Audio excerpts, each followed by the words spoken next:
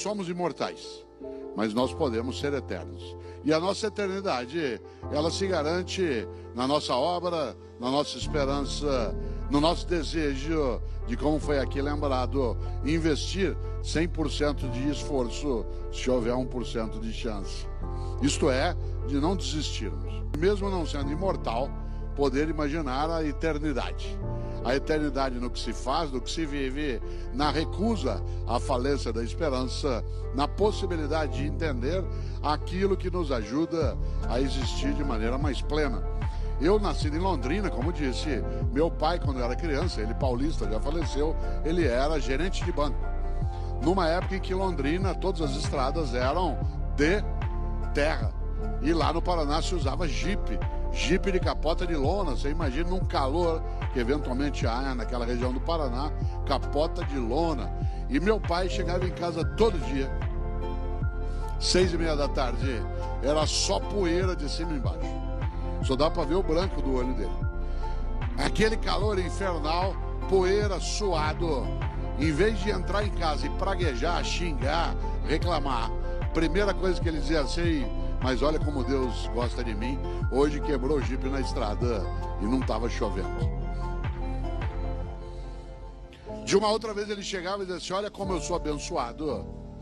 Olha só, filho, hoje acabou a gasolina do GP e faltavam só dois quilômetros para um posto de gasolina.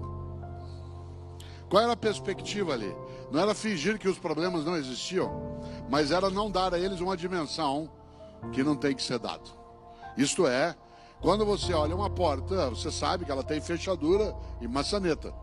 É preciso prestar mais atenção na maçaneta do que na fechadura. Embora quem quer abrir uma porta não pode desconsiderar que ela tem a fechadura. Mas há pessoas que ficam tão obcecadas pela fechadura que não enxergam nunca a maçaneta e aí não abrem o que pode ser aberto. E nesse sentido, claro, a ideia de uma capacidade de ter a percepção do não desistir, de ir buscar, de procurar, é algo decisivo. Na vida é preciso ter esperança, mas tem que ser esperança do verbo esperançar. Porque tem gente que tem esperança do verbo esperar. E esperança do verbo esperar não é esperança, é espera. Ah, eu espero que dê certo, espero que resolva, espero que aconteça. Isso não é esperança, é espera. Esperançar é ir atrás, é se juntar, é não desistir. Esperançar é ter uma postura ativa em relação àquilo que pode, inclusive, nos perturbar, como perturba estando vivo. Eu gosto muito de lembrar de uma situação que vivi há uns cinco anos em São Paulo. Estava eu num congresso da área de enfermagem. E quando terminou, havia um debate. Duas mil enfermeiras num espaço. E aí uma enfermeira a hora que terminou a atividade, que ela veio para o debate, ela perguntou, pegou o microfone e fez uma pergunta que um filósofo gosta de responder. Ela virou e falou assim, professor, o que, que o senhor quer que fale sobre o senhor no seu velório? Pergunta funda. E eu aí dei uma volta, fui a Platão, Aristóteles, Heráclito, Parmênides, Anaxágoras, Anaxímenes, Pitágoras, Zenão. Falei, vou pegar essa enfermeira na volta, ela vai ver. Ah, fui dando uma volta. Na hora que eu terminei, virei para ela e falei assim: e você? O que, que você quer que fale de você no teu velório? Ela falou: quero que fale assim, nossa, ela está mexendo.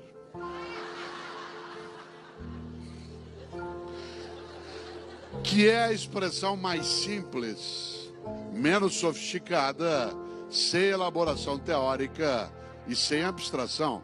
Afinal, o que é que um ser vivo deseja? Permanecer vivo. Se essa vitalidade nos honra, se essa vitalidade ainda é digna, se essa vitalidade não nos machuca. Nesse sentido, é claro, que o sentido da vida se coloca na possibilidade de tê-la naquilo que ela pode ser de plenitude, naquilo que impede algo decisivo. Quando você é jovem, como há vários aqui, para você chegar a 60, 70, demora. Quando você tem 20 anos, alguém de 60 anos já está perto do check-out. Quando você tem mais de 60, Outro dia eu fui renovar meu cartão de crédito, que já estava bem antigo, o cartão de crédito, renovei. E aí fui fazer uma compra na internet e, e naquele momento, tá? compra, em que você tem que colocar a data de validade do cartão de crédito, eu quase fiquei meditando. Meu cartão tem mais validade que eu. Quando teu cartão tem mais validade que você, é preciso pensar. Minha mãe, 86 anos de idade, domingo retrasado, estava eu caminhando na praça com a minha mulher, aí encontrei com ela, fim de tarde. Ela falou, filho, eu estava agora lá na igreja, sabe o que uma velhinha me falou? Eu falei, mãe, defina a velhinha. A senhora tem 86 anos. Ela falou, ah, deve ter uns 88, por aí. A vida é muito curta para ser pequena. E quando é que você e eu apequenamos a vida? Quando a gente tem uma vida banal, fútil, superficial, inútil, morna, descartável. Um grande, um grande pensador gaúcho tem uma frase de uma clareza, só não entende quem não quer. Disse ele: a única coisa que você leva da vida é a vida que você leva. A única coisa que você leva da vida é a vida que você leva, não é a vida que te leva. É a vida que você leva. Com a tua condição, com a tua esperança, com a tua turbulência, com a tua dificuldade, mas sem acovardar-se, sem desistir, sem entregar. Interessante. Essa expressão, essa expressão de Aparício Torelli, a única coisa que você leva da vida é a vida que você leva, ela se aproxima um pouco do grande poeta gaúcho que é aquele sim que eu admiro mais. Mário Quintana, um homem estupendo. Todos esses que aí estão atravancando meu caminho, eles passarão, eu passarinho. Todos esses que aí estão atravancando meu caminho, eles passarão, eu passarinho. Mário Quintana, um homem genial. Ele tem uma trova que eu vou fazê-la para você e eu não esquecemos. Ele diz: Um dia pronto, me acabo. Seja o que tem de ser, morrer que me importa. O diabo é deixar de viver. E quando é que você e eu deixamos de viver? Não quando a gente morre, mas quando a gente vai tendo mortes cotidianas, com a morte da esperança, a morte do afeto. Você deixa de viver quando morre com a capacidade de amorosidade, de solidariedade, de fraternidade. Por isso, quando Israel fala a vida é muito curta para ser pequena. É claro que nós não somos, obviamente, imortais, mas nós podemos ser eternos. Claro que imortais não somos. Aliás, vários filósofos pensaram sobre o tema da vida e da morte, entre eles Epicuro, que tem a mais expressiva frase sobre isso. Dizia ele: Eu não temo minha morte por uma razão, nunca vou encontrá-la. Enquanto eu existo, minha morte não existe. Quando ela existe, eu não existo. Então não vou encontrá-la nunca, porque temê-la. Disse, ué, mas isso é só uma frase. Bom, é simbologia. Nós vivemos de simbologias. Ou o de Allen, que disse, eu não tenho medo da morte, eu só não quero estar lá quando isso acontecer. Ou Chico Anísio, que dizia, eu não tenho medo de morrer, eu tenho pena. Claro, o Ariano Suassuna, nosso grande, especial né, intelectual que dizia que chamava a morte de cã, né, de demônia. Claro que ele estava falando ali não da morte que um dia já o levou, mas da vida que podia ser banal, fútil. E é claro que Ariano Suassuna continua vivo na sua obra, no seu projeto. Cada vez que um de nós assiste o Alto da Compadecida, vive ele outra vez? Claro. Mas não precisa ser um escritor, um ator, não precisa ser um inventor. Cada um e cada uma de nós tem a sua obra no dia a dia. Tem a sua obra daquilo que faz.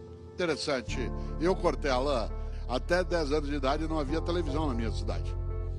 Não é que não havia TV na minha casa, não havia TV na minha cidade. Por isso, à noite, o que eu fazia? Ficava pensando, não tinha que fazer. E do que eu pensava?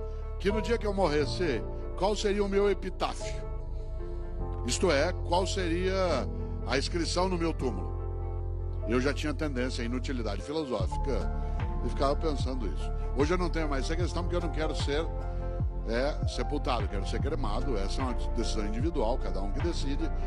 Se você observa, um dos sentidos da vida é ser capaz de não descuidar das outras vidas e da própria. Um dos sentidos da vida é cuidar da vida, seja da própria, seja de outras e outros. E nesse sentido, claro, se a gente lembra a necessidade de pensar na obra. E eu imaginava até 10 anos qual seria meu epitáfio. Um dia eu sosseguei, cheguei ao epitáfio que eu queria. Eu não estou aqui. Se você imagina a expressão eu não estou aqui, é um sinônimo daquilo que aqui é sempre lembrado de que nós não somos mera materialidade que se encerra com o perecimento de uma biologia. Isto é, algo em nós que persiste. Alguns creem que seja imaterial e outros creem que seja, além da imaterialidade, a própria obra daquilo que fica. Olha que coisa interessante. Quando a gente imagina qual é o impacto que isso carrega, é necessário lembrar de novo: a vida é muito curta para ser pequena. E quando é que você e eu apeganamos a vida? Quando a gente tem uma vida banal, fútil, inútil, superficial.